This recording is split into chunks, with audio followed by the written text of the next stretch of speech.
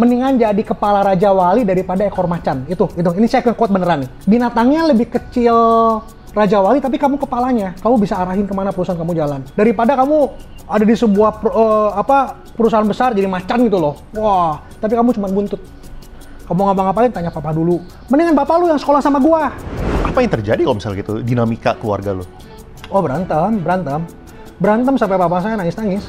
Itu tuh sebenarnya kita sudah masuk sebuah sistem yang sangat jahat. Kita kayak kambing udah masuk ke penjagalan lah bro. 77,8 miliar duitnya habis semua. Kamu kebayang nggak posisi saya waktu waktu saya kejedot dan tahu saya udah dikerjain dia habis-habisan, tiba-tiba ada 23 rekening yang dipakai dia buat money laundering. Posisi saya dari punya jadi hutang ke sana sini loh. Hutangnya loh. Saya sampai cuci kaki mama saya sambil nangis. Saya tuh nggak ada maksud kayak gini sama keluarga, saya bilang. Oke, hari ini gue kedatangan temen gue namanya Alex. Mungkin ada temen yang udah anticipating lah ya, ada kedatangan Alex. Buat kita gali-gali dan kita cari tahu perjalanan dia bisa sampai rugi hampir 80 miliar. bro, gue rugi 50 juta aja gue pusing bro. Boro-boro lo. Pusing lah. Cuman gue pengen ini sih, gue gue gue mungkin pengen apa ya eh, mengerti lebih dalam. Lu awal-awal ceritanya kayak gimana sih supaya tujuannya gue bikin ini kan dan lu sharing kayak gini kan supaya untuk edukasi, ya kan? Betul. Tujuannya soalnya gue lihat banyak banget orang-orangnya itu yang mau appear kaya. Dia tuh mungkin emang misalnya kekayaannya sekian, tapi dia memberikan fasad seakan-akan tuh sangat jauh lebih kaya, Flexing. flexing ya kan supaya dia bisa mendapatkan korban lebih banyak lagi gitu. Tujuannya itu. Dan itu yang kita mau berusaha untuk mencegah kan. Kalau bisa penonton-penonton juga jangan sampai kena dan bisa belajar dari pengalaman eh, Alex lah ya gitu. Nah mungkin gue bisa pengen dengar dari awal deh. Lu pertama kali masuk dan kenal itu kayak gimana sih?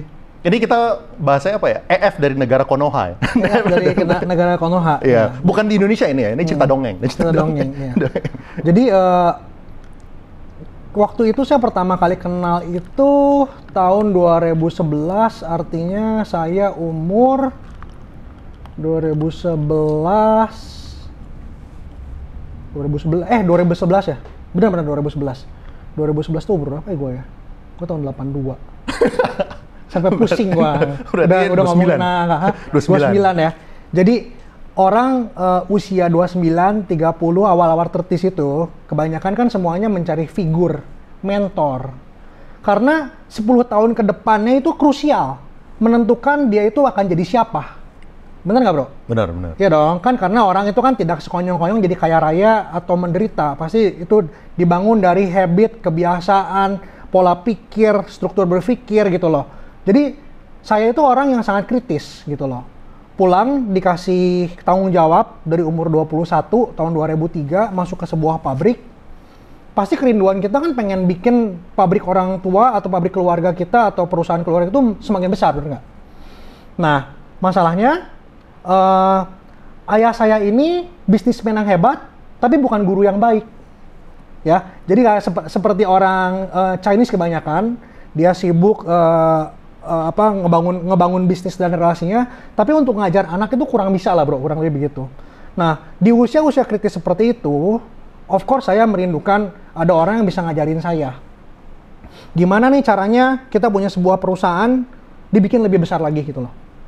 Nah, tiba-tiba uh, suatu hari ada salah satu teman saya, dia tiba-tiba datang. uh, Ini si Joe ini. Tuh bukan. bukan bukan si bukan Joe. bukan si Joe. Ada teman saya uh, tiba-tiba datang. Lex katanya.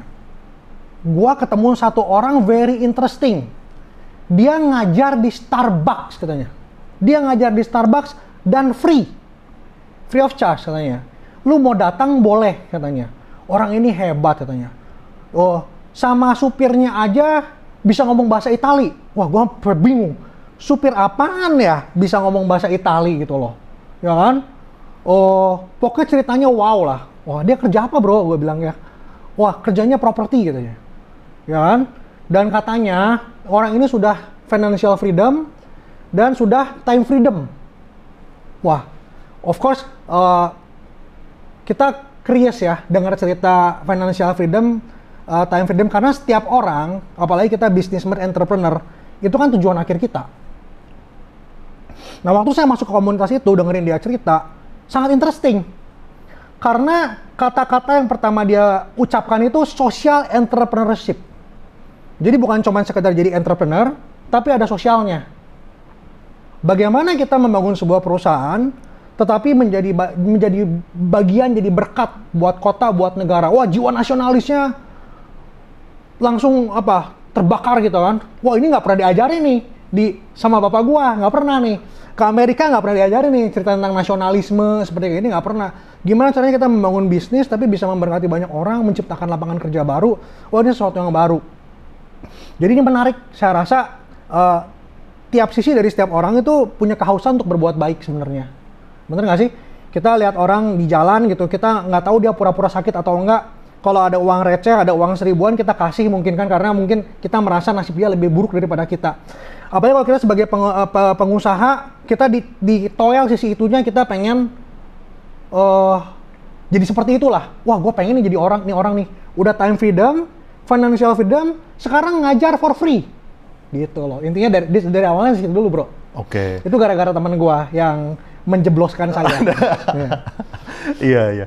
Terus emang free itu apa yang ditawarin emangnya? Maksudnya apakah ada eh nah kalau misalnya free kenapa akhirnya bisa nyemplungin duit kalau kayak gitu? Nah, jadi pinter dia dia eh, jadi of course eh, dia ini kan punya seperti di video yang sebelumnya ya, yang udah lu pernah ceritain. Si IF dari Konoha ini kan punya tiga program. Satu adalah program untuk eh, namanya kelas general. Itu ngajarin kaum duafa. Dia kasih produk MLM, orang siapa pun tidak pandang bulu, dia ada ada ada apa? Ada mantan TKW dari Saudi Arabia, segala macam dia ajarin dengan konsisten dengan intonasi yang sama kayak ngajarin kelas Expro. Expro ini yang dia bilangin apa? Kita UMKM katanya. Penggerak apa? Penggerak roda ekonomi Indonesia sekarang ada di UMKM. Jadi untuk meningkatkan value, kamu harus bayar. Tapi kita balikin lagi. Ingat kata-kata ini? Lu bayar uang sekolah tapi nanti dibalikin lewat apa? Eh, ini eh yang itu loh kayak main eh, lecture ke luar negeri. Apa sih namanya? Gue udah lupa. Entertainment lecture. Jadi entertainment lecture tuh kita bayar uang sekolah tapi nanti nanti di tahun keberapa tahun depannya kita pergi sama-sama sampai ke Israel loh. Entertainment lecture sampai ke Israel. Kita ke Israel bersama ngebahas tentang firman Tuhan gitu ya, tempat kelahiran Yesus. Kalau saya Kristen kan ya, jadi kita ngomongnya kan kita wah sambil belajar bisnis, sambil belajar sesuatu yang rohani kan. Nah, dibalikinnya lewat seperti itu. Jadi ujungnya free katanya. Kamu bayar di depan, tapi kita kasih value, nanti ini semuanya ujungnya free buat kamu. Wah, interesting. Ada kelas 3 di mana si Joe sama Alex ini terperangkap. Itu kelas tertinggi yang namanya social entrepreneurship. Itu yang saya aim kan. Karena sebagai entrepreneur saya sudah orang yang cukup sukses loh dari umur 21 sampai waktu itu 29 saya udah 8 tahun loh. Dan waktu saya sadar ketipu itu waktu umur saya 35. Jadi saya sudah 15 tahun di industri ini saya sudah expert sebenarnya. Ya kan? Oke. Sosia- menjadi social entrepreneur itu aim saya. Gimana caranya saya itu bisa berguna buat bangsa dan negara gitu. Ya kan? Itu kan setiap orang pasti punya pengen sadar dari entrepreneur biasa itu. Dan syarat utamanya apa? Kamu tidak boleh haus akan uang. Syaratnya tidak boleh haus akan uang. Karena kalau kamu masih haus akan uang, kamu masih kedagingan katanya.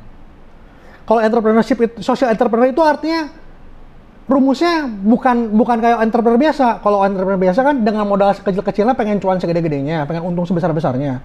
Kalau social entrepreneurship percaya apa dia bilang? Dia kuat lagi firman Tuhan. Berilah maka kamu akan diberi. Makanya dia keluarin angka pertamanya 2 juta dolar. Waktu itu dolar 10 ribuan jadi 20 miliar. Kalau lu nggak punya uang ini, lu nggak bisa jadi social entrepreneur man karena size lu terlalu kecil dia bilang kayak gitu. Wah, ya kan sekolah ini memang sekolah luar biasa lah SLB sebenarnya. Nah, terus kalau misalnya apa ya? Apa yang sih yang bikin lu percaya gitu? Maksudnya kan, oke, ini kan ada orang yang ngajarin di Starbucks. Tapi apa emang yang lu lihat dia tuh punya apa yang bikin lu percaya bahwa dia sebenarnya somebody gitu? Sebenarnya gini ya, kalau kita lihat uh, metodologi di pengajaran dia itu kan dia kan uh, uh, orang yang sangat jenius dalam yang namanya leveraging. Bro bisa jelasin leveraging itu gimana? Leveraging berarti kayak Nge-leverage. Iya, ngambil utang buat Oh bukan bukan kita kita kita nggak ngomong ke urusan utang. Kita ngomongin misalnya nih ada ada ada foto eh, Ferrari. Oke, ngerti. dia ikutan ngerti. foto di depan, taruh di Instagram. Oke, oke. Seakan-akan di Instagram dia tuh dia tuh pemilik Ferrari itu. Itu kan leveraging, ceritanya pakai aset orang lain. Ini orang ini sangat jenius dalam leveraging. Jadi pertama kali yang dia tembak ke saya adalah si Joe. Joe ini dulu belum lulus kuliah loh. Kuliahnya di Universitas Gajah Mada, di mana gue rada lupa ya, Atma Jaya atau di mana aku, aku lupa ya. Pokoknya Joe itu belum lulus kuliah, tapi dia udah mulai bikin project high rise building. Jadi kalau kalau sampai itu gedung jadi, kan istilahnya kita berpikir ya, wah bapak gua aja kerjanya di tekstil belum pernah punya, ya 30 tahun di sana belum punya high rise building, sedangkan gua di Amerika punya American Dream satu hari duduk di office segala macam, gua pengen punya gitu kan. Ini ada anak belum lulus kuliah, bikin project high rise building. Dua- 20 berapa? 22 lantai, 23 lantai itu FGN Tower. Ya kan? Gimana lu nggak kemakan, bro?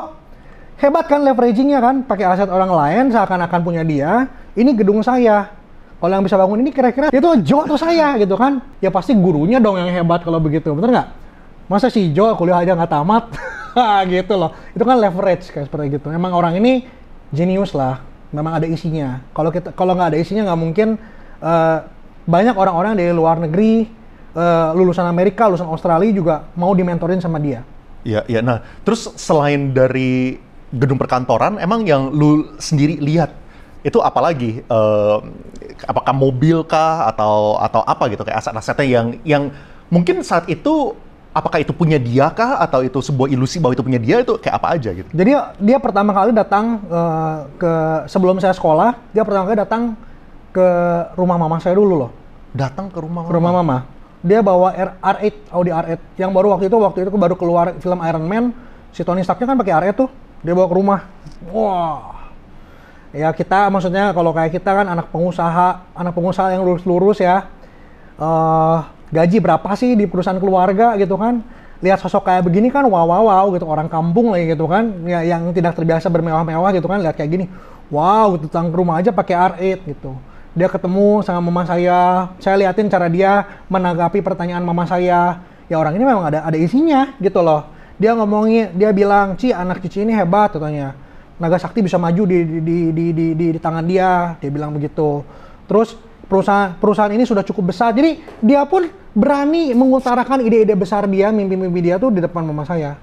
Lalu dia bilang, syaratnya cuma satu, sekolah sama saya katanya. Oke, oke. Menarik ya. Mungkin itu ya, apa namanya, kan orang tuh soalnya ngelihatnya misalnya sebuah mobil mewah, misalnya harganya 3 miliar, misalnya. Yang kita nggak tahu tuh, ini asetnya dia 3 miliar, atau ini cuma 0,001 persennya yang 3 miliar. Itu yang sebenarnya kita nggak tahu Benar, tuh. benar. Dan itu kan yang terus-terusan diomongin dengan konsisten bahwa semua yang dia punya yang terlihat sama murid-muridnya itu kan cuma 0,0000 dia seakan-akan punya dana tidak terbatas. Terus selain dari itu, gue gue denger juga lu diterbangin ke mana tuh? Yang pakai private jet. ke Singapura. Ke Jadi Singapura. Saya, saya saya dua kali terbang ke ke apa ke ke Bali sekali untuk makan siang di Ram- di Ramada di di hotel. Salah satu yang katanya juga hotel dia. Gitu. Itu kayaknya ada hubungannya sama RIRK deh, bikin bikin proyek itu deh. Oh. Jadi kita makan siang di sana pulang lagi pakai private jet. Itu satu kali. Yang satu kali lagi ke Singapura, Oh jadi ke Bali pakai private jet buat makan, makan? makan siang. Makan Oh, siang, terus pulang lagi. Terus eh, ke satu lagi ke Singapura, eh, eh, pakai private jet, di sana dijemput sama Rolls Royce, man. Dijemput sama Rolls Royce, kita ngapain? Saya udah lupa di Singapura ngapain. Eh, terus kita balik ke Jakarta, dijemput pakai Rolls Royce lagi, man, private jet. Wah, jadi Ini sebelum jadi murid nih? sudah jadi murid. Sudah jadi Setengah, murid. setengah jalan lah, setengah, Setengah jalan, jalan. menuju IPO. Soalnya jurnal IPO. Jadi kalau yang Singapura tuh satu hari kita tuh eh, diundang katanya ada air show nih. Jadi air show tuh kayak Gias kemarin lah, pameran mobil. Kalau ini pamerannya semuanya private jet sama helikopter. Wah lagi ada air show di Singapura. Ayo kita ke sana bareng-bareng naik private jet gua. Wah cuman orang-orang yang mau jadi triliuner yang bisa. Nah, Kalau itu kan dari zaman lu kan dimimpikannya satu hari lu setelah go public lu adalah triliuner pertama gitu ya. Jadi gua udah udah percaya da- udah percaya dengan iman 100% bahwa gua bakal jadi seperti itu kan. Gua ikutan. Kita naik eh, private jet dari Jakarta dari Halim, ada hangar khusus buat private jet kan. Nyampe ke sana, nyampainya juga hangar khusus di Singapura, nggak masuk nggak masuk canggih. Jadi tempat khusus buat private jet turun. Di sana udah dijemput sama Rolls Royce. Wah, gila nih. Guru gua IF luar biasa, ya kan? udah naik private jet turun juga dikasih mobil yang terbaik kan ya. udah lah ceritanya begitu ternyata setelah uh, sekian tahun ya sekian tahun kemudian kan kita kan cari tahu kan tentang cerita ini kan setelah kita ketipu ya jadi saya ketemu sama satu teman saya itu uh, pemain jam tangan kan cerita-cerita kita nyambung nih ngomongin tentang yang private jet itu private jet tuh ternyata cuma test drive kayak kita lah test drive Ioniq 5 gitu loh. Jadi kasih coba uji coba doang bukan bener-bener punya dia. Tapi saat itu saat itu ngomongnya... saat itu kan di akunya oh ini ini punya punya FJN Corp ya bilang. Ah, keren wah gila nih. Guru gua punya apa ya hidden asset apa lagi ya? Kalau kita kan sebagai murid kan begitu kan pengen belajar kan antusias kan. Dia punya rahasia apa lagi nih yang gue belum tahu kan? Seru kan ikutin guru seperti ini kan. Bisa naik private jet dijemput Rolls Royce dan urusan Rolls Royce ternyata dia itu men, saya menduga ya dari salah satu uh, aliran dana yang kita punya gitu dari dari kasus saya 10 miliar tuh dipakai untuk beli Rolls Royce gitu loh. Art Deco line yang cuma ada satu di Indonesia harganya 10 miliar karena tiba-tiba setelah saya nggak lama masukin uang itu untuk proyek yang yang ini yang apa yang industrial estate yang dia pakai kelak untuk uh, uh, proyek kondotel di Jogja dia tiba-tiba punya Rolls Royce jadi saya rasa kalau lihat timeline dan dugaan polisi itu arahnya ke sana. Nah, jadi gara-gara dia bisa eksekusi Rostos ini, dia kenal sama Rostos owner di Singapura. Karena satu-satunya yang bisa beli di Indonesia kan, makanya dia dijamu, dijemput pakai Rostos. Dia bisa atur sedemikian rupa. Gua pergi pulang pergi naik private jet, dijemput juga naik Rolls Royce. Di sini dijemput di, di nyampe Jakarta dijemputnya pakai Rostos Art Deco. Keren nggak bro? Tapi pakai pakai duit lu sebenarnya. Yeah.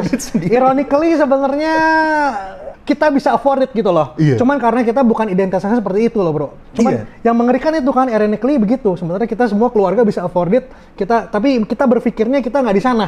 Iya, sebenarnya yang lucu itu ya kan. Soalnya kalau misalnya dari keluarga lu sendiri, ya lu pasti bisa lah beli Rolls Royce, beli Ferrari, nyewa private jet gitu. Cuman emang ya keluarga lu mungkin emang yang simple-simple aja iya, yang kita, mau kita, kayak iya, gitu, kita, kita, kita nggak nyari itu soalnya kita nggak nyari mewah-mewah kalau ajaran papa saya juga very very humble down to earth nggak pengen keta maksudnya dia selalu merendahkan diri nggak nggak nggak pernah sombong-sombong itu yang selalu ditanamkan sama kita iya. tapi mungkin gara-gara itu bro dikombinasikan hmm. kan bayangan lu kan kalau misalnya lo kan simple segala macam kan, ya kan nggak mau spending segala macam.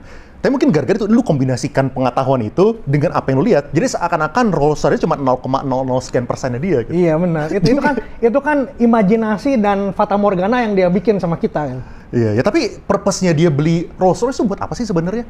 Kalau yang gua lihat waktu itu ya dari cerita dia, karena waktu itu salah, dia tuh lagi ke butik Rolls Royce, dia tuh ketemu sama salah satu kolektor Rolls Royce yang paling besar di Indonesia konglomerat di Indonesia konglomerat ya, di Indonesia uh, salah satu pemilik SCBD lah di, di, di, di sini lah gitu loh. Dan dia senang ngumpulin Rolls Royce. Jadi untuk untuk mengeksekusi barang ini dia aja masih mikir-mikir. Nah dia duluin untuk bikin im first impression yang bagus untuk kenalan supaya bisa lari pagi sama sepedahan bareng. Jadi dia orang ini mengerti gimana caranya uh, kalau mau mancing ikan besar harus menyiapkan jala yang besar gitu loh. Oh jadi dia beli Royce itu sebenarnya buat kenalan sama orang yang mungkin di papan atas ini juga yes, gitu ya, supaya dia bisa Jadi dia dia memang ahli leveraging dan positioning pakai duit orang. Pakai duit orang. Yes. iya, iya, iya, iya. Ya, ini juga yang gue diceritain kemarin lah ya, yang salah satu anaknya pengusaha besar juga diterbangin naik helikopter juga ya mirip kayak cerita lo lah. Iya, iya, iya. Pacara udah ulang tahun terbangin pakai helikopter. helikopter. Nanti udahnya ditodong invest bareng lah, apa ngerjain proyek bareng apa lah, udahlah udah sampai sana udah. itu ada, alam Menarik, menarik. Jadi ini apa ya? Flexing ini bukan cuma lihat dari foto doang nih. Ini nah, apa ya? Experience. This, this true story. Terus kalau misalnya nanti uh, uh, tahu uh, lihat juga tentang cerita tentang helikopter, dia ngedaratin helikopter tuh di kebunnya papa saya. Dari mana kemarin? Masih dari FJN Tower. Dari FJN Tower. Ke kebunnya papa saya. Terus udahnya kita ngadain kayak uh, lunch and gathering, cerita tentang air taxi, gimana ini mau jadi sebuah bisnis di Indonesia. Terus dia pulang lagi balik lagi ke FJN Tower pakai helikopter. Jadi all of this membuat sebuah image gitu ya. Apa? Ya ini orang hebat gitu loh. Maksudnya mau kita ngomongin hari ini sudah terkuak semua juga, tapi ini orang orang hebat, bro. Bukan bukan kaleng-kaleng gitu levelnya, gitu. Nah terus um, pertama kali lu masuk kayak gimana tuh? Uh, apakah lu langsung gelontorin uang yang tadi kan 2 juta dolar atau kayak gimana ceritanya? Maksudnya pengen bikin apa sih? Ini 20 juta dolar 2 juta dolar tuh buat kasih ke dia, bayar ke dia atau buat apa? Oh enggak dong, enggak dong. Jadi jadi kan cerita cerita awal itu kan karena saya kan terbuai mimpi untuk menaikkan uh, level perusahaan keluarga kita kan dari perusahaan yang berstandar keluarga gitu ya. Jadi yang be- berstandar nasional lah. Kan kalau Go Public kita jadi perusahaan nasional gitu ya. TBK. Kan kalau di Amerika kita belajar, saya sekolah industrial management juga kan semuanya kita belajar eh, case study-nya semua juga dari perusahaan Go Public, bener nggak sih? Jadi saya menge- eh, paham betul lah tentang eh, tentang seperti kayak beginian gitu loh. Dan saya punya vi- visi yang berbeda sama orang tua. Kalau orang tua kan berpikirnya kebalikan gitu loh. Kita nggak usah terkenal, emang bener lah kalau sekarang kita udah ngerti ya. Kita nggak usah terkenal, yang penting kita hidup sejahtera gitu. Kalau kalau kalau satu lagi Go Public ya maksudnya kita harus terkenal. Tapi ujungnya memang kita di Indonesia ini harus milih antara dua gitu loh. Ya kan? Tapi basically waktu itu saya berseteru sama orang tua saya ide saya ini gitu. Dan menurut saya idenya EF ini lebih make sense buat orang yang pernah sekolah tinggi gitu loh. Saya percuma ke sekolah ke Amerika kalau pulang nggak bisa mengaplikasikan apa yang saya pelajari di sana. Kurang kurang lebih begitu ya. Jadi yang diiming-imingi tujuan akhirnya itu tentang go public. Nah, cerita awal cerita awal 2 juta pertama ini adalah mau dia pakai sebenarnya untuk eh, nge-branding untuk positioning PT kita. Dia punya main office building di Jakarta. 2 juta dolar pertama kayak begitu. Bikinlah dia PT gitu loh. PT pertama gitu. Ada tiga PT yang kita bikin. Saya nggak usah sebut kali ya nama PT nggak Iya. nggak ada gunanya juga ya. PTA, PTB, PTJ, PTC lah. Eh, di PTA ini dia bilangin ini satu PT untuk nanti ngejagain sahamnya perusahaan lu setelah go public. Yang satu ini buat jual beli perusahaan, yang satu lagi vehicle untuk mem- membangun industrial estate, proyek utamanya setelah go public. Semua yang diajarkan tuh semuanya masuk akal. akal. Saya sudah ngadep ke ini loh, Buat Bursa. Efek ke BJ. Saya sudah ke BJ, udah ngomongin BI visi. ya, BI. Heeh. kita udah ngomongin visi misi dan semuanya makan loh, Bro. Wah, perusahaan lu bagus nih. Lu udah siap melantai. Jadi jadi ini semuanya tuh semuanya bi- bisnis, memang guru bisnis dia. Udah udah bikinin track record segala macam semuanya baik. Ya kalau kalau tadi ditanya 2 juta pertama buat apa ya buat itu. Papa saya selalu wanti-wanti sama saya hati-hati, hati-hati katanya, hati-hati. Saya bilang hati-hati di mananya? Saya masukin uang transfer ke PT saya sendiri loh. Saya ada di dalam. Gimana cara saya ditipunya? Kontrol di tangan saya 100%. Dan itu yang EF ngomongin sama saya. Kamu kenapa harus takut ditipu sama saya? Kan kamu di dalam sini, ini rekening kamu yang pegang katanya. Itu loh. Ternyata Ternyata yang itu ya sudah yang ternyata yang itu lah, Bro. Nah, se- mungkin sebelum ke situ ya. Yang gue mau tanya tuh, loh, ber- berarti ini ini duitnya tuh buat nge-go publikin perusahaan yang sudah ada, yang udah existing. Persiapan untuk public. loh. Persiapan untuk public. Nah, tapi kan sebenarnya kan perusahaan itu kan perusahaan keluarga gitu kan. Berarti kan semuanya tetap harus ada persetujuan orang tua, tetap harus ada ya whoever your share- shareholder is lah gitu kan. Correct. Nah itu berarti semuanya on board kalau kayak gitu. Kayak keluarga juga on board, eh, semua shareholder juga on board supaya ini mau di go public ini gitu. Eh, sebenarnya papa saya nggak setuju. Oke. Papa saya menentang keras sekali sampai saya berantem. Cuman eh, di sekolah ini kan saya eh, ada mention ya di salah satu podcast tempat lain ya bahwa sekolah ini tuh sekolah SLB luar biasa tuh begitu. Jadi salah satu kurikulumnya adalah yang level tertingginya adalah waktu kita dibenturkan sama orang-orang kita sayang. Itu cara dia ngetes bagaimana kita tuh percaya sama dia karena percaya sama guru tuh harus 100%. Dia kasih tes-tes kan. Nah, di, di, di, di, di kasus saya sendiri, saya tuh diminta untuk menurunkan posisi papa saya dari presdir jadi komisaris, dinaikin gitu loh seakan-akan gitu loh. Presidirnya jadi saya. Ya kan? Kalau sekarang kita sudah mengerti, oh, ternyata ya dengan cara seperti itulah kita tuh seperti kerbau dicocok hidung semuanya bisa dikerjain nih perusahaan gitu loh, Bro. Nah terus eh tes kayak gitu maksudnya maksudnya de- dengan dengan dengan apa? Maksudnya kayak kayak tujuannya buat apa? Eh, dia bilang kayak gitu kan pasti kan lu harus bisa lihat ini sebagai suatu hal yang make sense makanya lu mau menjalankan gitu kan. Nah, emangnya benefitnya apa kalau misalnya dilakukan? Apakah supaya lu itu yang lead the company, you prove Yes, correct. Ada salah satu eh, positioning yang dia selalu lakukan membedakan mana anak orang kaya dan orang kaya. Jadi kalau anak orang kaya itu boleh lu petantang petenteng punya mobil hebat segala macam, tapi kalau mau bikin decision dalam perusahaan dia harus tanya sama bapaknya.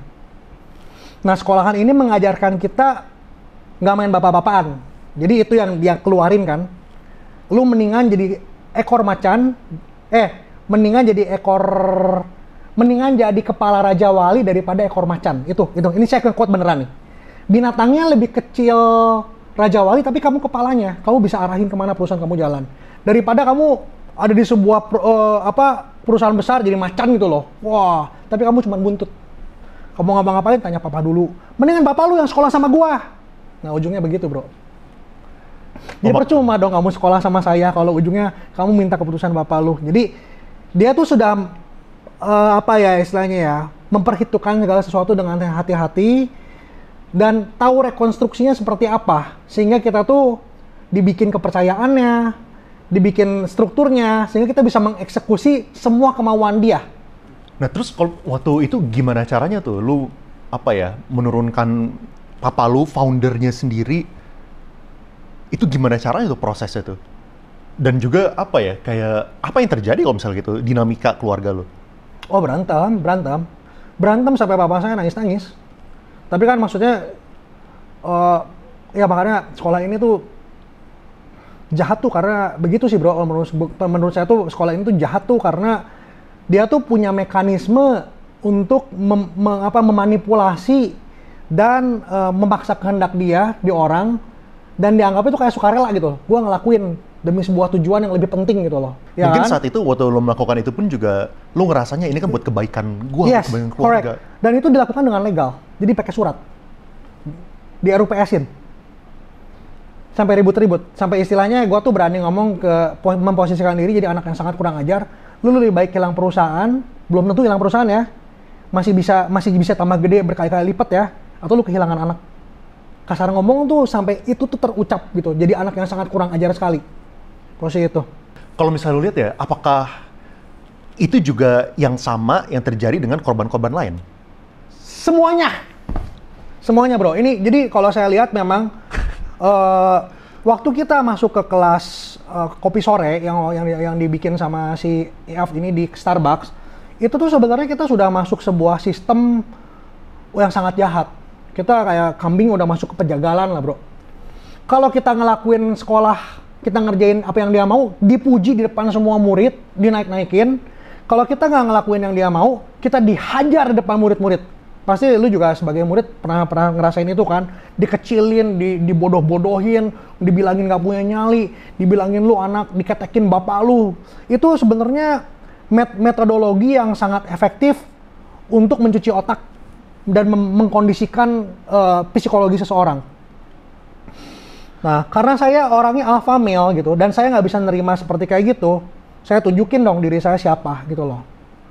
Nah, akhirnya konflik keluarga terjadi kayak gitu, bro. ada nggak ya kayak satu atau dua cerita dari teman lain yang mungkin namanya lo nggak usah sebut ya tapi kayak kisi-kisinya kayak gimana gitu yang yang yang cerita itu mirip gitu kayak gitu Adalah ceritanya si Jo kan kurang lebih juga sama kayak begitu, ya kan?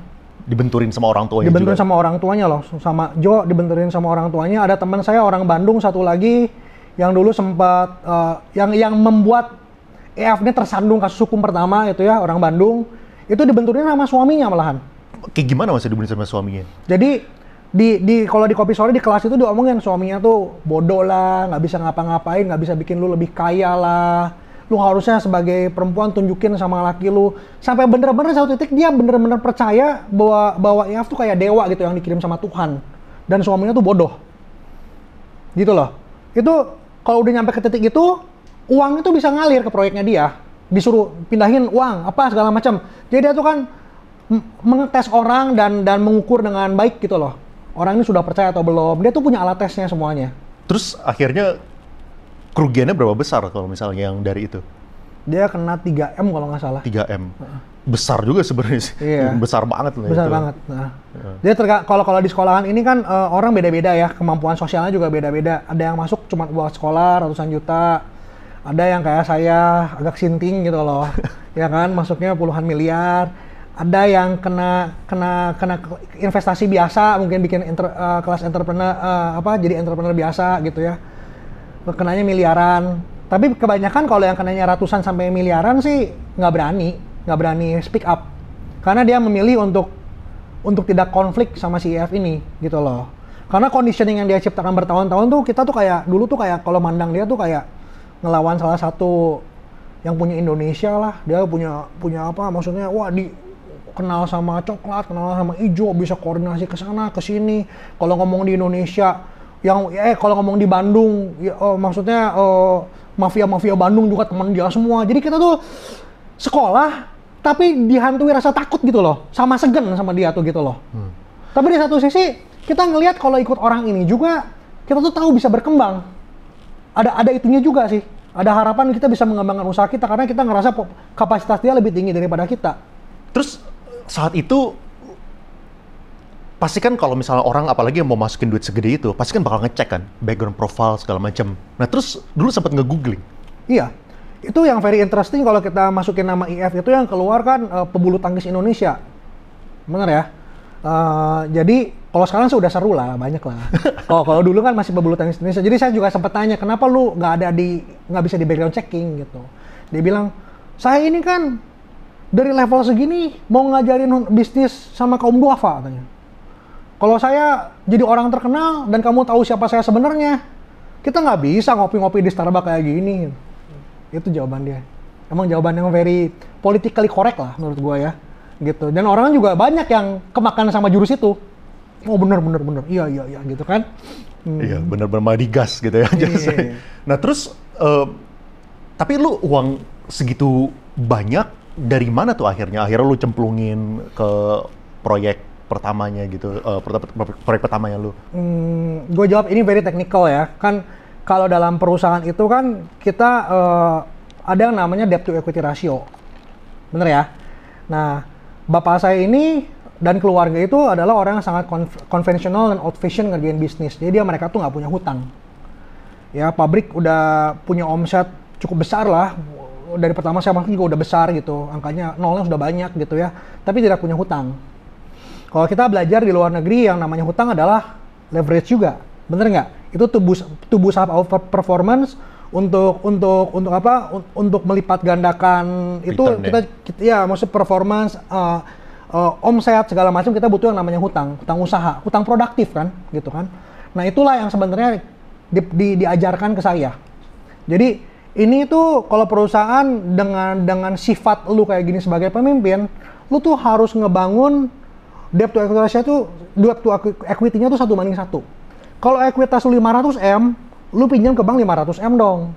Disuruh ngambil ngutang berarti ya, hmm. buat masukin ke sekolah ini. Jadi kamu kebayang nggak posisi saya waktu waktu saya kejedot dan tahu saya udah dikerjain dia habis-habisan, tiba-tiba ada 23 rekening yang dipakai dia buat money laundering. Posisi saya dari punya jadi hutang ke sana sini loh. Hutangnya loh. Rumah pribadi saya, rumah nenek saya, semuanya jadi kolateral di bank loh. Gitu loh. Buat sekolah ini. Buat sekolah ini ini kurikulum yang dia kasih buat saya. Terus terus waktu tapi kan tapi kan duitnya itu kan dalam kontrol lo. Jadi PT kan PT lo. Jadi ya, ya Makanya, ya nggak apa-apa dong it, it, itulah yang hebatnya dia gitu loh. Jadi kan uh, saya ada cerita ya di podcast lain juga metodologinya begitu. Uh, saya tuh diminta bikin ini, bikin sebuah uh, rekening dulu atas nama PTA misalnya. Kita kita tiga PT tiga tiganya punya rekening dong, namanya namanya perusahaan kan. Nah, masing-masing kita buat rekening di Bandung. Di Bank BCA, saya sebut aja nggak apa-apa lah di BCA ya.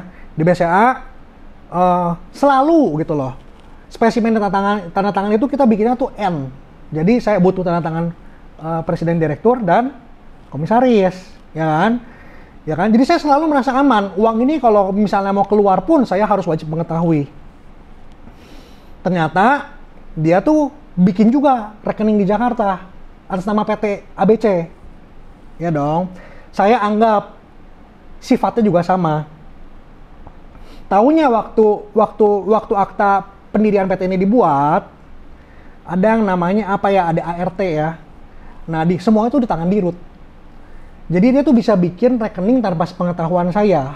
Jadi dalam kacamata lo, sebenarnya ini harus N, N. lu dan dia tanda tangan. Dan dan dia tuh pintar dia tuh bikinin satu rekening di Jakarta tiap masing-masing PT. Jadi gue cuma tahu satu rekening di Bandung, satu rekening di Jakarta. Aman dong bro, posisinya dong. Terus kalau diminta diminain uang kayak ceritanya begini. Dia ada satu hari ngomong, Lex, ini keadaan lu sama bapak lu jelek nih, ya kan? Dan nanti kalau kalau lu masih konsisten dengan dengan dengan, dengan ucapan lu sendiri mau go public katanya kan, semua urusan tuh kan banyak di Jakarta. Uang-uang ini lu pindahin dulu ke Jakarta aja ke rekening yang Jakarta. Karena nanti jual beli perusahaan, ngejagain saham semuanya kan terjadinya di Jakarta. Apalagi sekarang udah ada office building, FJN Tower katanya kan, lu ngantor di sana segala macam. Jadi lu mendingan pindahin aja ke ke rekening yang Jakarta. Uang sudah pindah ke rekening Jakarta. PTA ke PTA loh bro, bukan PTA ke nama dia. Ini kejahatan kera putih gitu loh. Masuk ke PTA, saya nggak ngerasa ditipu dong. Kontrol juga saya anggap masih di tangan saya dong gitu loh. Masukin ke PTA gitu. Sampai jumlahnya 77,8 M ada itu mas di, di, di laporan audit juga ada gitu loh. Nggak, nggak masalah. Ya saya selalu ngerasa uang ini nggak bisa diapa-apain sama dia tanpa sepengetahuan saya karena spesimennya harus ada harus ada tanda tangan saya gitu loh. Gitu. Jadi awal kesalahannya itu sih, Bro. Ternyata maksudnya jadi yang direktur utama tuh dia. Udah ke mana dia? Makanya ternyata dia tuh sebenarnya boleh ngebikin rekening Boleh. tanpa sepengetahuan Pengetahuan yang saya. lainnya. Hmm. Ternyata Oh. yang saya kaget tuh waktu terakhir kali dicek itu waktu saya dipanggil kepolisian dengan kasusnya pelaporan orang lain dan katanya salah satu anak perusahaan saya yang PTA ini ada nerima dana pencucian uang. Nah, saya cek ternyata 20 re- 23 rekening yang saya tidak kenali, yang dia bikin sendiri, dia pindah-pindahin uang ini semua sampai kabur gitu ya, dan uangnya sudah habis 77,8 miliar duitnya habis semua. gitu. Ketahuan buat beli apa aja. Ya, ya, ya kalau sekarang kalau ngomongin kayak gitu kepolisian tahu sih, soalnya dibuka sama PPATK dia pakai buat apa aja. Cuman itu Ada- kan ranahnya bukan ranah gue untuk ngomong di publik seperti kayak begini gitu iya, loh. bro. iya. Maksudnya apakah sports car, apakah Ya, buat Ya udah pastilah sports car, gaya buat gaya hidup dia, buat buat inilah image yang dia bangun supaya murid-murid makin percaya begitu. Bahkan mungkin buat pergi ke PP naik private jet juga pakai uang itu kali. Ya udah pastilah. Pakai uang lu sendiri. Iya. lu Jadi kan naik saya, saya kan sama Joe ini kan udah ngobrol panjang lebar ya. Jadi kita kan tanya, udah, udah sering ngobrolin gitu ya. Ya sebenarnya EF ini adalah produk dari uang-uangannya saya dan aset-asetnya Joe. Jadilah produk namanya EF. Jadi kalau itu mungkin kalau misalnya kita bagi tiga, tadi kan ada kelas gratisan, tengah, sama yang paling tinggi, yang paling mahal gitu kan. Mungkin kelas yang paling tinggi ini untuk nge-finance dia punya lifestyle gitu. Bisa jadi. Mungkin ya. Bisa jadi dan dan kalau kalau kita lihat ngomongin kelas yang paling bawah itu adalah MO untuk membuat orang-orang yang seperti saya yang pengen naik kelas social entrepreneurship itu di sana. Karena dia di sana kan manggilin orang kaum duafa gitu loh, Bro. Yang tadi yang mantan TKW diajarin pakai ML, ML, MLM barangnya dia, ya kan? Yang di situ dia double diamond gitu ya. Terus udah diajarin dengan konsisten. Jadi kita juga terenyuh oh, lihat lihat mantan TKW bisa pegang uang ratusan juta gara-gara diajarin itu. Makanya menurut saya apa yang kita lihat waktu itu dengan kacamata kuda mulia dong bro ngajarin orang kayak begini kaum duafa jadi punya uang banyak. Kita kan pengen jadi seperti kayak begitu dong. Setelah kita jadi entrepreneur apa? What's next? Social entrepreneur menjadi berkat buat bangsa dan negara. Itu yang kita yang kita mau lakukan kan sebenarnya kan. Itu ternyata mau MO untuk nipu-nipu ya big fishes gitu loh. Iya, iya, jadi sebenarnya simbiosis mutualisme semua tuh divisinya tuh. Iya. Yang ini nggak dapat duit tapi nggak bangun image. Nggak bangun image. Yang ini ya itu buat kehidupan sehari-hari dia mungkin. yang tengah kehidupan sehari-hari. Kalau misalnya ini buat lifestyle gitu. buat Gitu. lifestyle dan juga ya buat tujuan besar dia lah. Iya, Kan iya. karena dia juga ngomongnya sama kita nggak punya kepentingan segala macam, itu kan dibalikin semua. Sebenarnya punya sangat banyak kepentingan dari sana kan, pengen kaya, pengen apa dari situ kan gitu. Iya, iya. Nah terus akhirnya jatuhnya itu kenapa sih? Tadi kan lu sempet nyinggung tuh. Maksudnya kayak kayak kenapa kayak kena kasus pertamanya itu kapan dan gara-gara apa gitu? Jadi eh, salah satu kasus yang dia bikin eh, terjerembab itu tahun berapa ya waktu itu ya? Lupa 2015, 2016, awal 2015, 16. Nah ada salah satu murid dia yang perempuan itu yang dia benturin sama suaminya itu, dia invest ke salah satu proyeknya si Jo yang di Yogyakarta, Kondotel, ya kan? Ternyata proyeknya gara-gara ini ribut terus, ya kan, laki bini di, di- dibikin konflik terus sama sama itu, lakinya juga nggak bisa terima, harga dirinya diinjak-injak, dan dia kebetulan notaris, dicarilah celah eh, celah secara kenotarialan lah gitu lah ya, intinya gitu kan, oh ternyata ada masalah sama izinnya, dipermasalahkan izinnya, kebetulan dia punya jalur ke ke ke ke ke, ke Polres Jakarta Sel- eh ke Polres Bandung lah waktu dilaporin segala macam Eh, ternyata waktu mereka berantem, gara-gara tanah ini yang dipakai buat ngebangun proyek di Jogja itu punya si Jo, malah si Jo yang kena. Gitu loh. Jo kena, si F ini malah kabur ke Singapura. IF malah kabur ke Singapura. Nah, di situ ada salah satu eh, teman kita yang dia dia juga salah satu murid yang sekarang melaporkan kasus sekolahan palsu sadar. Wah, ini IF ternyata bukan guru yang dia omongin loh. Di saat itu nih ya. Saat itu ya, waktu itu ya.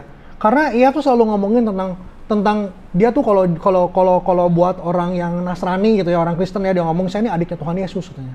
Saya ini akan menyertai kamu sampai kesudahannya. Tapi waktu ada masalah ternyata dia kabur. Ke Singapura. Oh, oh. Bisa muridnya, Muridnya- kena masalah. ya kalau bahasa Sundanya diparabin lah gitu di, di diumpanin sama dia. Jadi oh dia ini ternyata orangnya tidak walk the talk. Ngomongin integritas tapi semua yang diajarkan dia langgar. Makanya dilaporin ini sekolahan beneran nggak? Wah jadi jadi rame jadi melebar. Oh gitu, ini, ada yang jadi case pertama ini bukan masalah TPPU atau yang lain-lain, tapi sekolah. sekolah. Sekolahnya sekolah heeh. Oh. sekolah gitu. Ya case pertamanya yang itu yang suaminya tuh ngomongin tentang masalah Iya. izin nem- nem- nembak nem- nem- nembak ke R nembak ke IF kenanya si Jo udahnya sama dilaporin urusan bahan palsu gitu. Nah terus, kalau misal lu sendiri sadarnya kapan? gue sadar orang orang terakhir gue ini orang yang paling setia orang yang paling lurus orang yang paling percaya dan sadar paling terakhir sebenarnya. Iya kan? Jadi saya waktu itu udah terjadi iya eh, si Jo itu kasihan kan karena karena karena dia ketimpa masalah kayak begitu dia itu akhirnya melaporkan nge- nge- ngaudit perusahaannya juga. Dan ngelaporin TPPU dia ngelaporin dua perkara kalau nggak salah waktu itu. Ada ada satu lagi yang pasal 262 yang tentang akta palsu lah. Ada akta palsu dia dia dilaporin dan juga laporin TPPU nah saya itu dipanggil PMJ gitu loh. Dipanggil sebagai saksi. Katanya perusahaan satu perusahaan saya ada terima uang pencucian pencucian uang loh. Terima dana nas- nasabah proyek Yogyakarta lah gitu loh ke perusahaan saya gitu Nah, nah di sana saya baru kaget gitu loh. Pertama kali dipanggil sebagai saksi kan saya masih ngebelain si EF dong. Itu guru saya dong. Ya kan? Saya masih ke sana waktu itu datang masih masih mikir ini gila banget si Jo nih nge- eh, apa ngelaporin guru kita gitu loh. Udah diajarin bangun high rise building. Ya kan karena di otak saya Jo itu orang pertama yang dijual ke saya loh, yang yang sekolah nggak lulus bisa nggak bangun high rise building. Harusnya orang kayak lu itu Berterima kasih. Berterima kasih dong sama-sama guru yang bisa ngebangun high building ya begini dong ngajarin segala macam kan gitu kan. Itu kan cuman the tip of the iceberg bro. Yang kita nggak tahu kan dalam-dalamnya kayak gimana gitu loh. Nah itu udah udah lu udah, udah lu bongkar di kasus sebelum di ini di video lu sebelumnya kan. Nah basically waktu itu gitu. Gua terkaget-kaget setengah mati karena waktu itu kan saya marah ya. Saya bilang maksudnya ke penyidiknya, "Bang, gua ini salah satu investor di proyeknya Pak Jo," gua bilang sekarang gua dipanggil sama lu malah diomongin gua ada nyuci duit dia. Gila apa kata gua tuh? Ya kan? Lalu penyidiknya bilang sama gua oh bang ini kita udah sita semua rekening PT-nya yang kondotel ini. Lu cek aja uang lu masuknya kapan katanya. Wah di sana saya pucat sih. Nggak bisa ngomong. Karena saya buka satu-satu beneran nggak ada. Angka itu nggak pernah masuk ke PT itu gitu loh. Jadi lu sebenarnya invest di PT yang yang pengen ngebangun properti itu, ya kan kondotel itu, tapi duitnya nggak masuk di situ gitu nggak maksudnya. masuk di situ Oh, lu baru sadar saat itu. Mm-mm. Gue invest, itu invest berapa yang untuk itu? Dua- 20 M, 25 kalau nggak salah 25 miliar. Invest 25 M Itu duitnya sebenarnya duit 25 itu itu proyek di PTC saya. PTC, oke. Kan saya punya ABC nih. Ah, ah, PTC. PTC ini yang buat ngebangun industrial estate. Nah, karena waktu itu konflik saya berkepanjangan sama papa saya, ya kan? Dan intinya sama EF, EF nggak berhasil lah ngegoyangin papa saya karena oh, dia minta tanah tanah papa saya itu land bank kita yang buat go public itu dimasukin ke PT. Papa saya udah udah punya feeling ini gila gue mau dijambret nih, mau di mau dirampok sama orang nggak dikasih. Akhirnya berantem saya kalah gitu loh. Ya kan? Saya kalah nggak da- nggak dapat untung gitu nggak dapat lah gitu. Tapi saya udah punya udah punya uang eh, yang yang hasil funding nih ya kan? Buat apa nih? Dia bilang parkirin dulu untuk proyeknya kondotel Yogyakarta dia bilang gitu sama saya lu bikin satu tower katanya bilang ke saya begitu ya kan ternyata uang itu tidak ada di sini tidak ada di sini gitu loh Terus tapi transfernya ke mana waktu itu? Kan lu kan ada kan masih di PTC Nah kan PTC, PTC kan Oh, belum Kan trans ke mana-mana. belum- belum ke mana-mana. Oh. Saya pikir kan semuanya masih di sini, Oke, bro. oke, oke, oke. Bayangan lu PTC ini adalah bakal dipakai untuk funding proyek itu, tapi ya anggapan lu masih ada di situ. Masih ada di situ, belum belum di- dieksekusi gitu. Tapi loh. sekarang PTC nggak ada, di sini nggak ada Nggak juga. ada juga, nggak ada juga. gitu. Di sana kan baru kita sadar gitu loh. Wah ternyata ya udahlah. Ternyata ya kita gua dikerjain habis-habisan. Kan awal-awal di lu masuk kan gara-gara cerita si Jo, ya kan bisa ngebangun gedung perkantoran gitu kan. Tapi lu hangout sama si Jo nggak sih? Enggak. Kita memang sengaja sama dia tuh murid-murid tuh nggak boleh dibikin terlalu dekat. Jadi kita nggak bisa exchange of information tuh nggak bisa. Kita cuma sekedar hai-hai kalau kuliah umum, kuliah bersama gitu dikumpulin. Kita ketemu, tapi kita nggak ada kesempatan untuk tukar informasi sangat dalam tuh nggak ada. Jadi waktu kita melaporkan segala macam ke kepolisian, kita tuh cuman pegang one puzzle piece. Polisi yang semuanya tuh satu-satuin jadi sebuah Oh lukisan justru besar. polisinya yang ngebantuin. Iya. Oh. Makanya kasus kita ini kan kalau saya tanya ini kes- kesulitannya berapa ya kalau di kepolisian ini salah satu yang paling sulit dia bilang tuh. Di PMJ loh, kasus saya tuh salah satu yang paling kompleks dan paling sulit. Soalnya semua orang cuma punya one piece of the puzzle. Iya, one piece of the puzzle. Dan polisi harus minta keterangan dari RIR, RIRK, ke yang punya penthouse, ke yang ya ke mana-mana gitu loh. Akhirnya jadi kelihatan, oh ternyata modusnya seperti ini, ini, ini, ini, ini.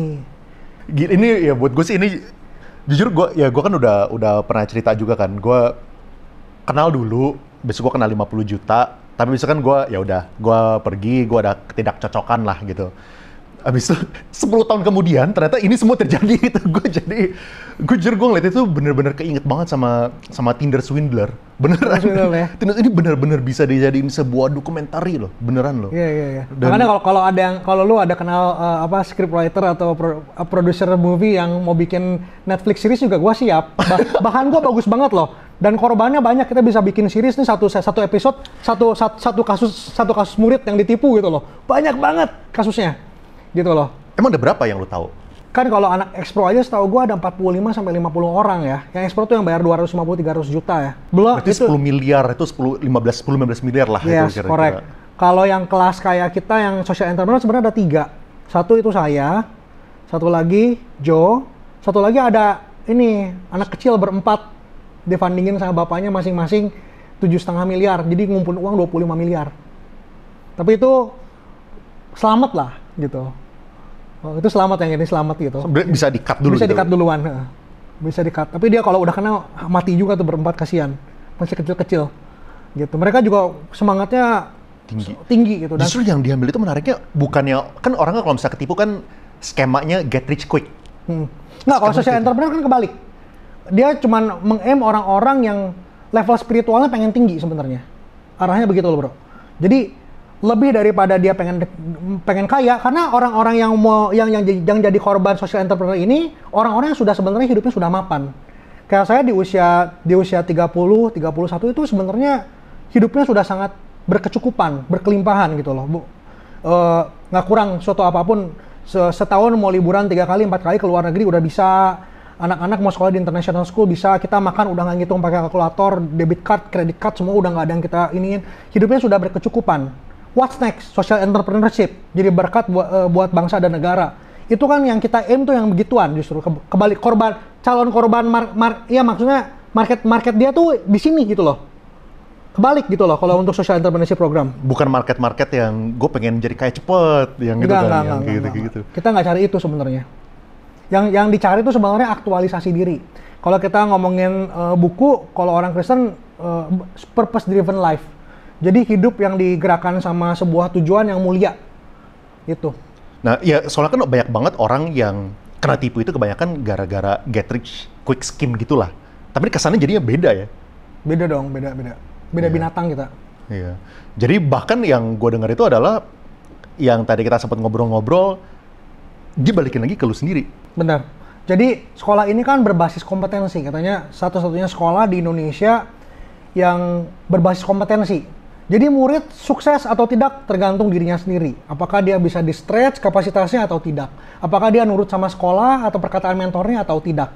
Apakah dia bisa mendengar suara Tuhan atau tidak. Itu yang kita pusing bro. Karena kita dibenturin sama agama, spiritual, perkataan mentor, nurut, hormat. banyak value dan banyak eh, apa ya ajaran-ajaran tuh yang membuat kita tuh ujungnya kayak kerbau dicucuk hidung gitu loh. Nah, dengan segala macam semua ini terjadi ya, bro ya. Sekarang kita flash forward lagi nih ke sekarang, ke hari ini gitu ya. Gimana sekarang relasi lu sama keluarga lu? Ya, puji Tuhan sih eh, eh, apa ya semua dipulihkan pelan-pelan ya. Jadi karena mungkin eh, kesalahan fatal saya yang, yang yang dimanfaatkan sama si IF ini tuh dia melihat bagaimana hubungan retak antara orang tua sama anak. Jadi kayak perbedaan visi antara saya sama papa gitu ya.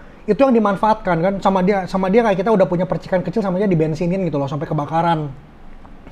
Akhirnya orang tua orang tua sedih, anaknya jadi anak yang kurang ajar, jadi malin kundang saya dan saya juga harus bayar dengan harga yang sangat mahal. Tapi dengan berjalannya waktu enam tahun ini gitu ya, eh, lama-lama mata kita semuanya saling dibukakan gitu dan pintu maaf tuh kan dibukakan sama keluarga di satu eh, kesempatan saya ada ada satu saat saya itu ngobrol sama mama saya. Eh, mama saya tuh udah sepuh loh udah kepala tujuh kan gitu kan. Waktu itu rumah saya hampir disita sama bank karena udah kolek empat gitu. Nggak bisa bayar nggak bisa bayar cicilan gitu. Dan saya, bayar uang dan saya udah udah ngomong sama istri sama yang sama sama istri anak-anak masih kecil kan. Kita siap-siap kalau misalnya harus keluar dari rumah ini kita kita tanggung konsekuensinya sama-sama gitu loh ya kan? Mama saya dari orang yang biasanya kalau ketemu orang di bank dipuja-puja gitu satu Bandung tahu lah nama mama siapa nama mama saya sampai harus pinjem-pinjem di usianya yang tua loh bro.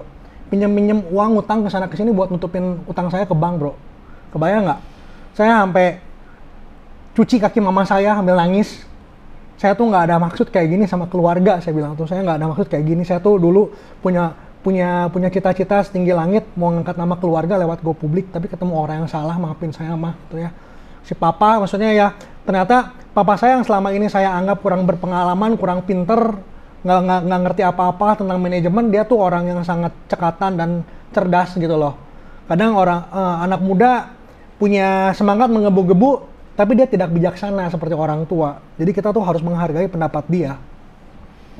Terus ya of course dalam keadaan saya terpuruk kakak saya yang perempuan eh, kakak ipar saya adik saya mereka semuanya ngegantiin posisi saya di pabrik walaupun keadaannya limpung presidirnya kan saya kan tiba-tiba harus hilang ngurusin kasus hukum gitu loh mereka orang-orang berjasa juga buat di perusahaan sampai hari ini masih berdiri teguh dan makin kuat gitu loh di Nagasakti Gila ya, kalau misalnya lihat sampai segitunya ya. Nah tapi eh, uang yang lu kehilangan itu bisa recover. Insya Yesus bisa sih bro, kalau misalnya terjadi restoratif justice. Tapi kita kan maksudnya balikin lagi aja ke IF-nya maunya bagaimana. Kalau kita ya of course sebenarnya kan nggak ada niatin niatan mau menghabisi orang ya. Cuman kita pengen cari keadilan gimana caranya lu udah menggelapkan, mencuci uang saya ya balikin dalam bentuk aset, dalam bentuk saham. Supaya kita bisa recovery. Karena uang-uang ini yang kamu ciptakan lewat sekolahan ini, lewat kurikulum gila ini, saya dapetin kan lewat hutang ya kan? Dan saya harus menanggung bunganya, menanggung pokoknya. Saya berhadapan sama institusi-institusi lagi gitu loh. Itu kan bikin hidup saya jungkir balik enam tahun terakhir gitu. Tapi kalau misalnya kayak gitu, kayak tanggapan dari istri lu kayak gimana? Dengan semua ini, pasti kan awalnya itu apakah dari awal juga against sama kayak papa lu atau Nah kalau kalau istri saya eh, orang yang sangat bijaksana ya. Jadi dia tahu memposisikan diri dengan baik. Jadi dia nggak percaya sama guru saya, tapi dia percaya sama keputusan yang saya ambil. ini kan sebenarnya kejadian udah lama kan? Udah berarti 2015 kira-kira ya. 2017 waktu waktu waktu saya dipanggil polisi pertama kali. 2017 gitu ya. Nah, Amin se- sebenarnya kan lu seharusnya bisa aja lu pasti kan puncak kemarahannya itu di 2017. Pasti kan. Dan Kaget sih bro ya. kaget kan pasti kan 2017. Eh, gua yang masuknya ya 50 juta aja kaget boro-boro lu gitu. nggak ada apa-apanya.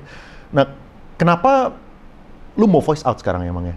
Hmm, turis eh, ini aja buat buat ngasih tahu awareness aja gitu ke teman-teman gitu nggak nggak ada jalan singkat untuk jadi kaya sih ke satu begitu kan harus hati-hati sama motiva- motivator-motivator yang kebanyakan flexing yang menjanjikan menjanjikan bisnis cepet kaya gitu kan sebenarnya nggak ada Iya, iya. Heeh. Bahkan Terus udahnya dibungkus pakai agama dibungkus sama macam. agama jadi orang harus waspada harus hati-hati sama model-model kayak begini gitu kan model modelan kayak IF ini kan udah muncul beberapa kali kan dan sekarang juga ada yang lagi viral gitu loh Iya, ya kan Iya. Iya. Mungkin sebenarnya conviction lo itu udah kuat banget bahwa ini guru nggak benar itu ya sejak lo di kepolisian itulah ya. Ya Hmm. itu doang basically kan. Ada yang lain emangnya? Ada lagi sih sebenarnya. Ada satu lagi yang membuat saya sebenarnya eh, menyadari bahwa ini orang serigala berbulu domba. Jadi di sekolahan itu dia kan selalu mengajarkan agama. Dia mengajarkan tentang integritas dan kekudusan loh. Ternyata dalam perjalanannya saya menemukan dia tuh pernah memacari empat perempuan sekali jalan. Dulu waktu gua ke sana kan dia udah ada pasangan, udah ada istri dulu. Ya itu salah satu dari empat inilah. Jadi dia tuh jalan sama empat. Jadi ada empat perempuan yang ketemu sama sa- eh, yang yang saya tahu ya. Ini yang lu tahu bahkan ya. Ya, ini ini ini yang gua yang gua tahu ya. Yang nggak taunya nggak tahu ada berapa ya. Si A itu adalah sekretaris kor- eh, corporate sekretaris saya yang dia tidurin dan dimiskinkan habis sama dia. Jadi ada corporate sekretaris saya itu yang satu hari itu waktu waktu waktu IF pertama kali masuk penjara itu korsek saya tuh rajin banget bolak-balik ke ke penjara dan ngebelain mati-matian sampai berani ngelawan bosnya si Jo. Bosnya Jo bukan orang sembarangan, kita nggak usah sebut namanya lah. Wah, kalau gua berani hadepin karena cinta, ya kan? Karena cinta jadi mau ber- ma- mau eh, apa? Mau ribut sama orang yang nggak ada hubungan sama dia demi cinta, ya kan? Saya bingung, kenapa level sekretaris, korporat sekretaris sampai kayak begini? Jadi sama saya dipanggil, saya tanya sama dia, lu ada hubungan apa sebenarnya sama si F ini? Gitu kan? Saya juga apa ya ngomongnya dengan dengan inilah dengan tegas gitu loh. Gue cuma punya satu kesempatan. Lu mau ikut gua atau lu mau ikut dia? Mau dia nangis, nangis sejadi-jadinya. Dia bilang, Pak, eh, saya diambil sama IF. Bilang gitu ya. Cerita ini cerita cerita cewek A nih. Hah? Jadi selama ini lo ada hubungan khusus dong? Iya, saya ada hubungan khusus dia bilang kan.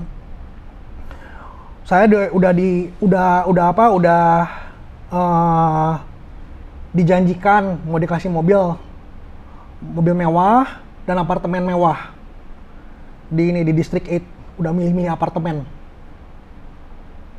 kejadian nggak nggak Ya, nggak ada kejadian lah intinya gitu kan dan waktu-waktu saya eh eh, teliti lebih dalam lagi ternyata dia kelirit hutang.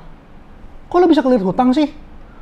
Ternyata waktu dalam posisi IF ini ribut sama murid-murid yang lainnya yang termasuk si Jo biaya hidupnya segala macam tuh sekretaris saya yang bayarin. Sampai kredit card dia tiga atau tiga atau empat biji itu semuanya max out gitu loh. Nggak bisa dipakai lagi.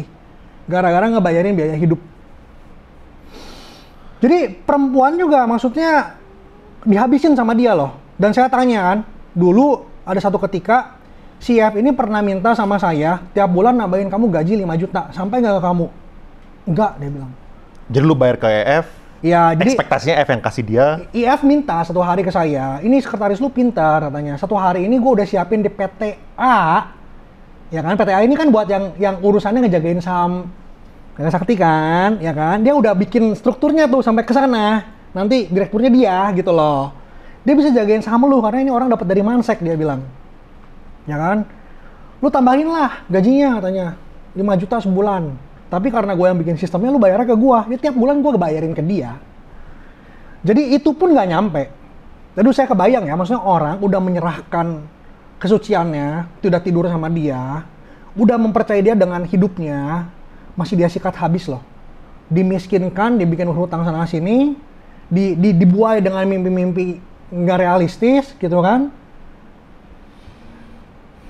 Gimana gitu posisinya gitu, dan uangnya diambil juga yang 5 juta. Jadi saya udah lihat, waduh, ini orang uang kecil, uang besar semuanya disikat ternyata.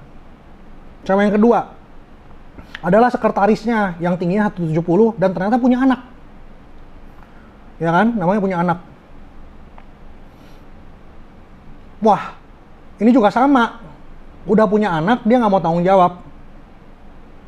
oh anaknya anak dia. Anak dia nggak mau tanggung jawab. Kita nggak tahu lah ya, nggak tahu ya. Cuman katanya itu anak anaknya IF katanya, sampai punya anak gitu loh. Ya ini ini ini ini gimana ya kalau cerita kayak begini kan kita nggak tahu cerita yang terjadi seperti apa.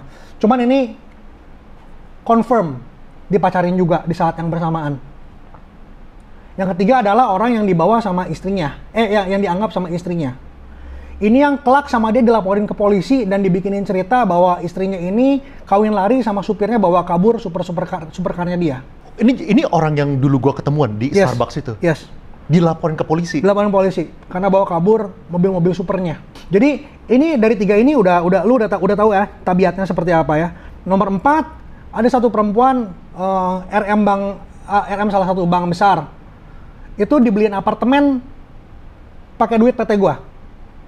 Jadi gue lihat orang ini gimana ya bro? Masa nggak ngemodal sih? Lu mau macarin mau, mau macarin orang aja harus ngambil harus nge- ngegelapin uang dari perusahaan gua.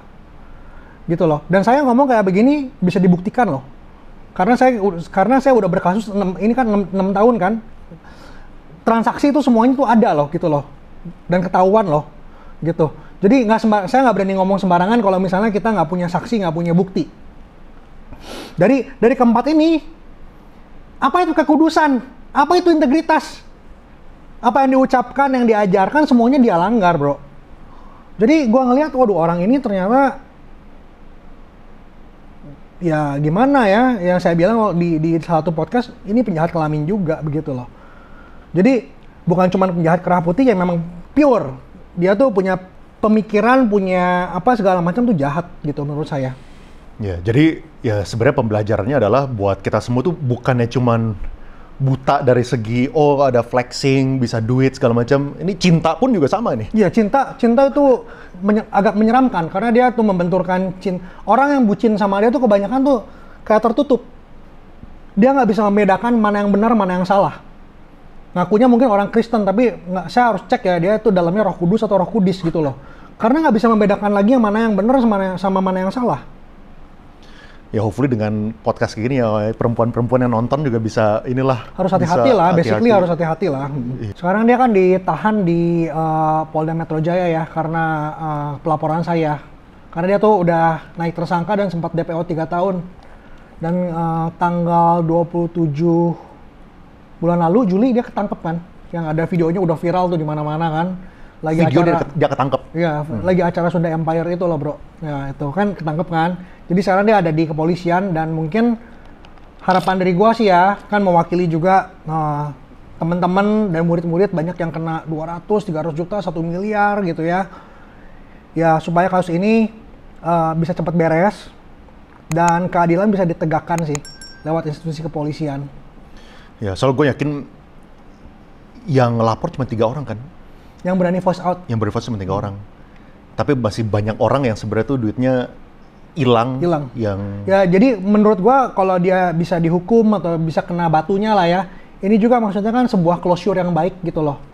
Walaupun mungkin dia bu- bukan dari pelaporan teman kita yang yang yang yang yang lebih kecil gitu, tapi mereka kan mungkin dengan begini kan masih ngelihat oh ternyata keadilan di Indonesia tuh masih bisa ditegakkan gitu loh, Bro. ya ya. Thank you banget bro for your time, Thank appreciate you. it. Thank you so thank much. thank you. Thank you.